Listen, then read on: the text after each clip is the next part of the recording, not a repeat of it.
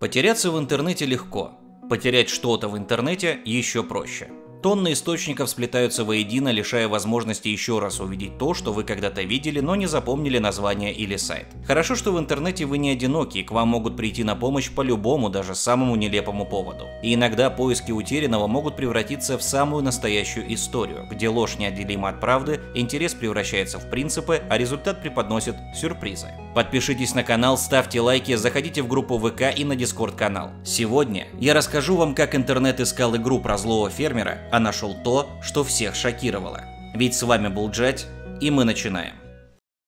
11 лет игра World of Tanks собирает вокруг себя людей, которых объединяет не скиллы, а ценности. Стальной характер, упорство, несгибаемость. Здесь собираются люди, которых невозможно остановить. И каждое препятствие на пути к цели делает их только сильнее. В World of Tanks каждый найдет свой способ проявить стойкость характера. Например, тяжелые танки понравятся тем, кто готов держать удар. Очень важно грамотно использовать свою броню и мощное орудие. Попасть в уязвимые места противника бывает непросто, но с каждым боем ты все лучше понимаешь, как выиграть дуэль у конкретного танка, будь то ИС-3 или Королевский Тигр. Помимо захватывающего геймплея, в игре есть топовая графика и гибкие настройки, так что ты сможешь насладиться игрой даже на слабых ПК и ноутбуках. Прыгай по ссылке в описании, регистрируйся и забирай 7 дней премиум аккаунта, 400 тысяч кредитов и 3 танка, которые раскроют тебе особенности разных типов техники.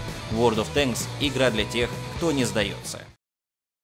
Каждый из нас что-то ищет. Я вот, например, ищу старый фильм, на который случайно наткнулся, смотря телевизор в детстве. Там мальчик кидает какую-то фигурку в камин, а на утро обнаруживает в нем миленькое существо, похожее на дракона или динозавра, который очень быстро растет и постепенно становится все больше, больше и больше. Фильм был таким детским фэнтези из 80-х, в духе бесконечной истории или лабиринта, потому что дракон был оранжевым, милым и пузатым, и был то ли куклой, то ли плохим 3D, но скорее всего куклой. А все происходило в средневековом сеттинге. Помнится был кадр, когда огромный огромный дракон высился над замком. Это все, что я мог накопать у себя в голове. В воспоминаниях остались лишь парочку размытых образов, смутные ощущения и возможная канва сюжета. Что это за фильм, я понятия не имею, и меня это мучает больше 15 лет. Если вы знаете старый фильм про оранжевого дракона из камина, напишите, пожалуйста, в комментариях, меня уже ломает. Или попытайтесь найти свое, ведь у каждого из нас есть фильм, игра или музыка, на которую мы когда-то случайно наткнулись, каким-то образом запомнили мотив или отдельный фрагмент и не обратили на это особого внимания. Но воспоминание об этом осталось, и по каким-то неведомым причинам оно всплывает в самый неожиданный момент и заставляет нас искать первоисточник по обрывкам затертых и измененных фрагментов памяти. Для таких случаев было придумано много сервисов и сообществ, где люди помогают друг другу восстановить воспоминания и принести покой в душу.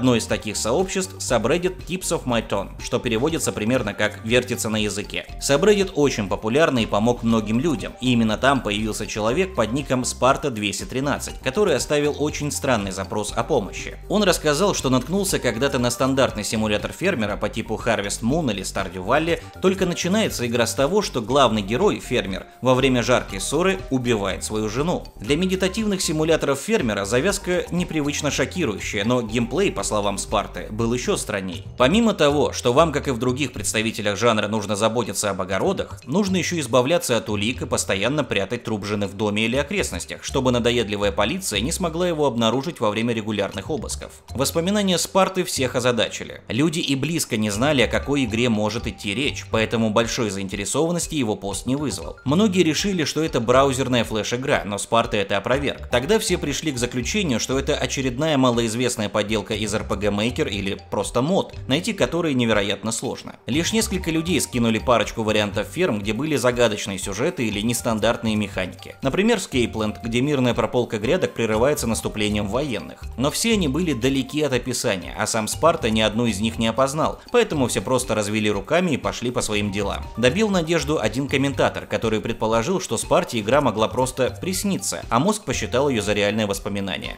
На этом история странного фермерского симулятора могла бы закончиться. О посте Спарты все забыли, а игра так и осталась бы неизвестной.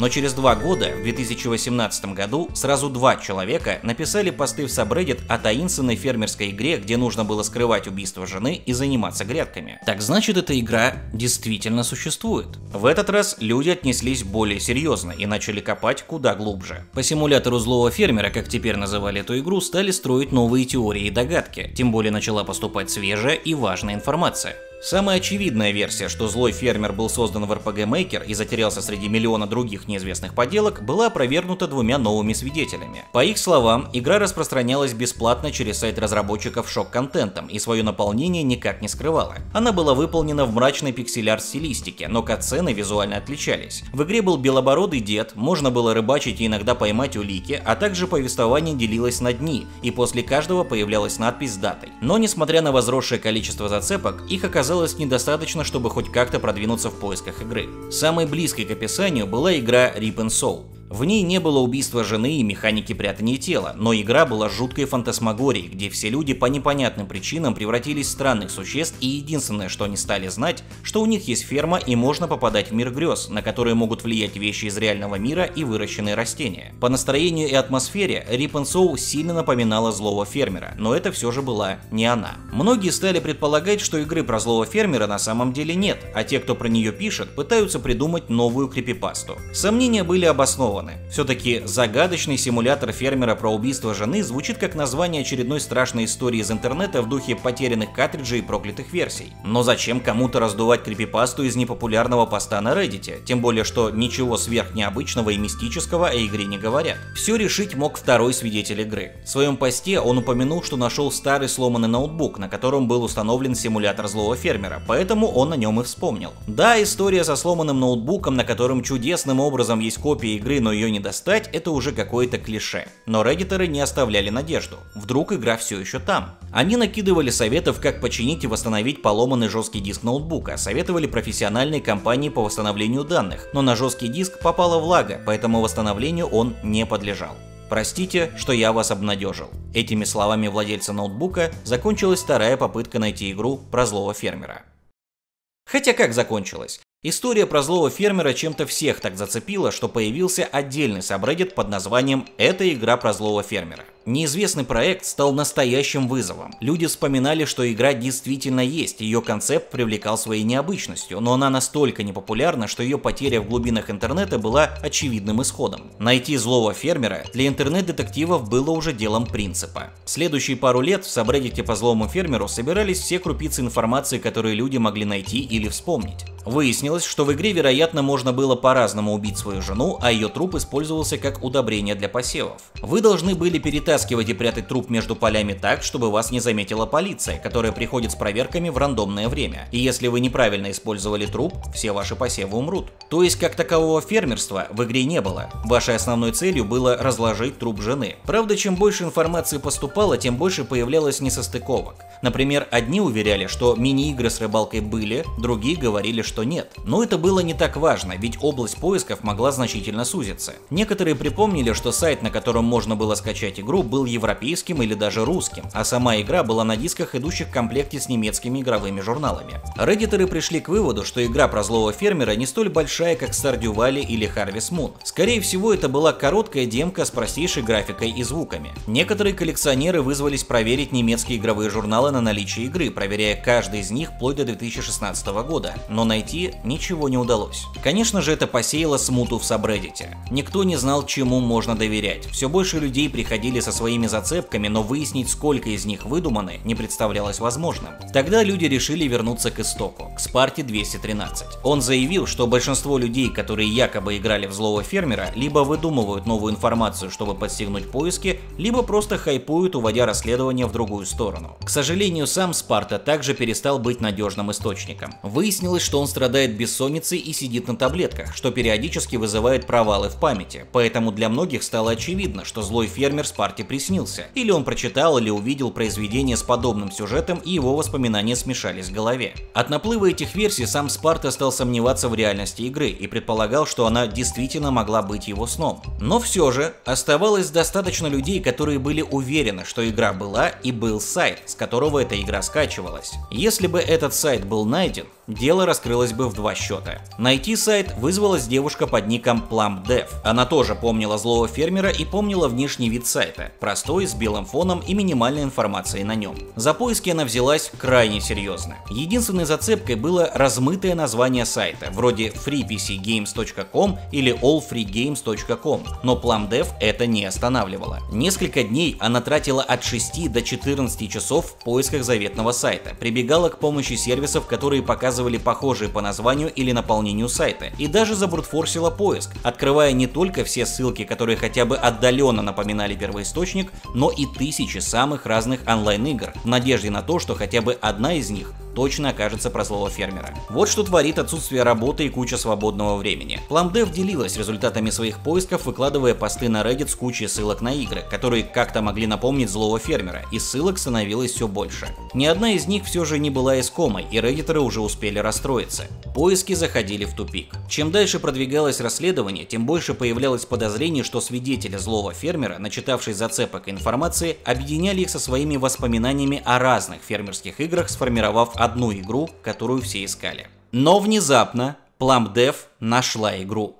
Она называлась The Red Sun Sets Over the Field of Grain. И несмотря на то, что она немного отличалась от воспоминаний Спарты и других, множество вещей сходилось. Это была пиксельная игра, где вы занимались своей фермой и начиналась игра с убийства своей жены и ее любовника. Игра была создана для айфона за 36 часов группой студентов из колледжа в 2015 году и являлась критикой бессмысленных симуляторов фермерства того времени. Описание Red Sun гласит Можете ли вы бесконечно сажать семена и собирать монетки, зная, что вы совершили преступление? Справитесь ли вы с чувством вины, покупая новые саженцы? Сможете ли вы игнорировать напоминания о том, что вы совершили, и спокойно заниматься фермой? Непопулярность проекта также была обоснована. Игра просто не попала в App Store сразу по ряду причин. Игра была сделана слишком быстро и не соответствовала качеству, содержала противоречивые темы, могла вызвать чувство отвращения и прочие штуки. То есть про игру вы могли узнать только если были лично знакомы с разработчиками или с их близким окружением, а скачать Red Sun можно было только со сторонних ресурсов, какого-нибудь неизвестного сайта, как например. Казалось бы, ну наконец-то, 4 года поисков наконец-то завершились, но вот проблема. Чтобы установить игру на iPhone, нужно было провести куда больше манипуляций, чем просто нажать на кнопку «Загрузить». Чтобы кто-то когда-то ее мог просто взять и запустить, тем более на компьютере, вызывало сомнения, но все знали, как их можно развеять.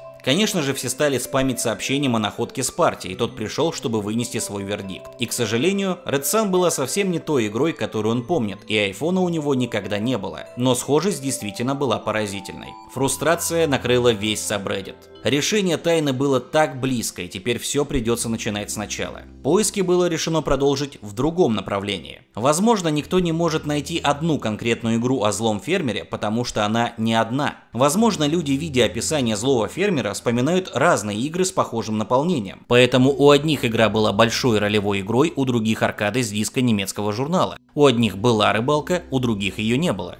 Игра про злого фермера существовала, но каждый сталкивался со своей версией этой игры, поэтому воспоминания так разнятся. Никто тогда не догадывался, насколько верным было это предположение и насколько сильно оно было ошибочным. Ведь вскоре после находки The Red Sun создала еще один пост. Она действительно нашла злого фермера. It, it, honestly, you know what it sounds like? It sounds like Harvest Moon, but with like corpses. It sounds like that'd be a fun game. Just playing as Harvest Moon, but throughout all the gameplay, you gotta hide uh, a dead corpse. You know what? You know what? No, fuck. You know what it is? Harvest Moon. It's just regular Harvest Moon with your wife, and midway in the game, you have an argument with your wife, and you accidentally kill her with like a, like a, I, I don't know, like a. A saw blade? No, no, fuck it. You, you kill her with like a, a, a barbecue uh, kebab uh, rack. Like a you impale her accidentally, and you're like, oh shit, I didn't mean that. And at the same time, as you gotta like, you know, rescue, uh, not rescue, uh, you gotta manage your farm, you know, raise your chickens and milk the cows. You also gotta like uh, hide the body from the cops sometimes, from health security checks, and uh, yeah. Только что вы увидели игру про злого фермера. Пользователь Evota Snake опубликовал в дискорде сервера это видео, которое крайне сильно напоминало описание злого фермера, и оказалось, что большинство людей с уже видели этот видос в районе 2015 года, и даже сам Спарта с удивлением обнаружил, что это именно то, что все искали все эти годы. Все сложилось. Видео под названием Buddy Harvest Moon содержало в себе отрывок со стрима популярного ютубера Vinesaus, на который фанат наложил анимацию. В этом отрывке Vinesaus вспомнил игру с Nintendo 64 Buddy Harvest и сказал, что название этой игры для него звучит странно. Как будто бы это Harvest Moon, только вы убиваете свою жену, занимаетесь фермой и прячете тело от полиции. Этот отрывок стал локальным мемом и заинтересовал аудиторию. Фанаты Вайнсаус нередко создавали по мемам разного рода творчества, в том числе и игры. Например, легендарный локальный мем Terminal 7 про Луиджи с терминальным раком мозга седьмой степени превратился в мод для Half-Life 2, где Луиджи погружается в пучину безумия и хаоса из-за своей болезни. И когда видео Buddy Harvest Moon вышло, многие надеялись найти игру по этому мему, но так ее и не нашли, потому что ее не было. Но вот воспоминание о том, что они искали эту игру, осталось, и со временем конкретные детали стерлись, оставив в голове лишь образ игры про злого фермера, который убивает жену. Получается, что все в сабреддите говорили об одной и той же игре, но представляли ее все по-разному, с разным масштабом, разными механиками и стилем. И именно поэтому многим людям показался знакомым концепт злого фермера. Они смотрели видео Вайнсаус, но не могли этого вспомнить, а уверенность большинства, что это реальная игра, убедила и всех остальных в ее существовании. Мы в реальном времени могли наблюдать, как появляется эффект Манделы. После такой истории невольно засомневаешься в существовании фильма про сожженную фигурку и оранжевого динозавра. Вдруг это вовсе не фильм, а совокупность образов, которые сплелись в моей голове. Или этот фильм все-таки существует? А давайте найдем его. А если не найдем, то давайте сделаем. Точно так же, как люди с Абреддита делают злого фермера. Несмотря на то, что поиски привели к максимально непредсказуемому результату, разрозненная информация и воспоминания создали полноценный концепт для игры, которую сейчас делают. И не одну, а сразу несколько. Самая близкая к выходу игра Replanted, которая, судя по странице Стима, должна выйти уже в октябре. Такова была безумная история злого фермера. Десятки людей прорывались к правде через сомнения, дезинформацию и троллинг, чтобы получить совсем не то, на что они рассчитывали. Бойтесь своих воспоминаний. Они могут быть совсем не тем, чем кажется. А у меня на этом все. Не забудьте подписаться на канал, скидывайте в комментарии варианты названия фильма, ставьте лайк и заходите в группу ВК и Дискорд канал. Там вас ждут. Пис вам люди. Пока.